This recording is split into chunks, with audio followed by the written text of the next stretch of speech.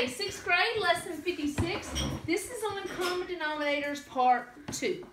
All right, so let's pick up where we left off earlier, okay? But this time, what do you notice about my problem? Two different denominators. Two different denominators, just like normal, okay? But can I use three or two to do this? Uh, No. Because three will go into three, but will two go into three?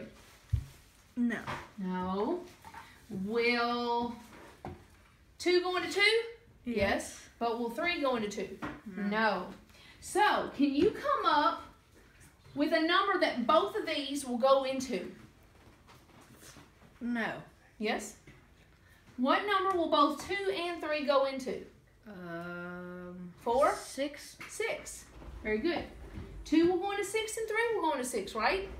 Yep. So let's try to make this our common denominator. Okay? Okay. Three times what is six?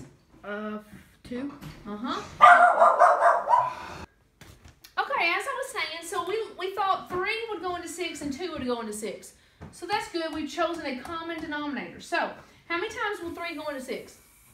Uh, two. Two times. So what we do to this one, we have to do the top one. One times two is two. So we're saying that one third is the same thing as two six. We just made more slices. Okay? Now from two to six, what do we do? Uh, two times uh three. Very good. So what we do right here, we have to do the top, and one times three is three.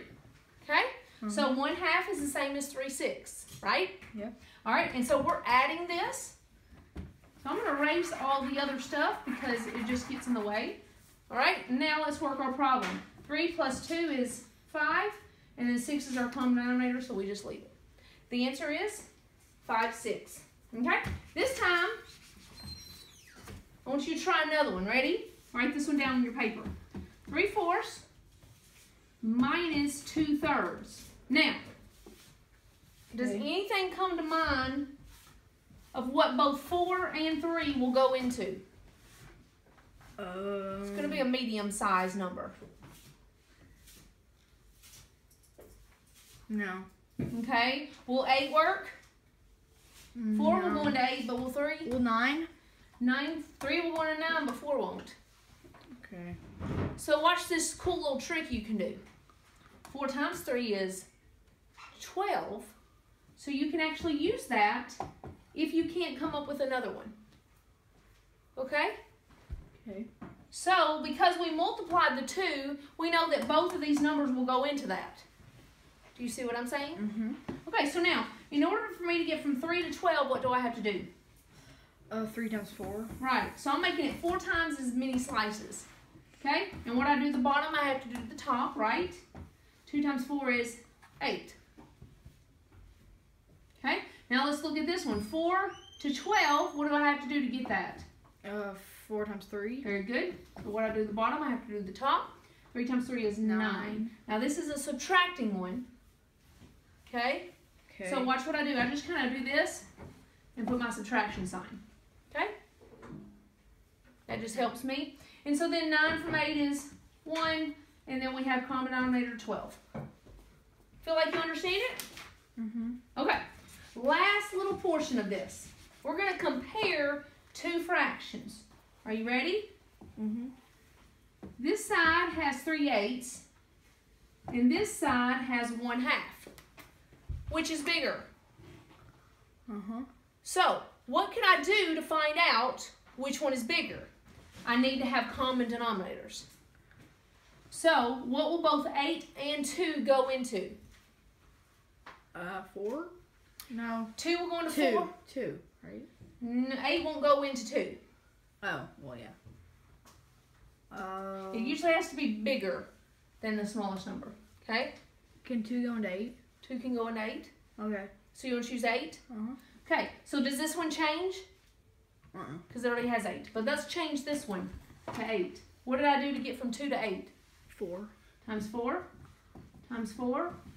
Four eights. So, which one is bigger? Uh, four eight. Very good. See how we did that? Uh -huh. Okay. Let's do one more and then you're done. Put, write this one on your paper. Two thirds 3 fourths. Now, let's ask ourselves what number will both 3 and 4 go into? Uh, This was like the one we did earlier. nine. We thought 9. Oh yeah, that's what. Okay, twelve. It's going to be 12. So I'm going to go underneath it. Since I'm going to have to do both of them, I'm going to put a 12 down here and a 12 down here. Okay, you staying with me? Okay? Mhm. How get from how do we get from 3 to 12? What do we have to do? Three times four. 4. And so, do I do I need to write this out? Here, let's put it out to the side. In order for me to get from 3 to 12, I did what did you say? Uh, three. 3 to 12. Oh, three. I'm writing it on the other side because I don't have room. Okay, three times four. times 4 times 4. 2 times 4 is 8. So 2 thirds is really Uh, eight. 8 twelfths.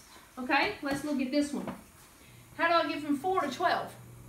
Uh, times three. Times 3 times 3. 3 times 3 is 9. So I have 8 twelfths and 9 twelfths. Which one is bigger? Uh, nine. Very good. And that is our answer. That is lesson 56.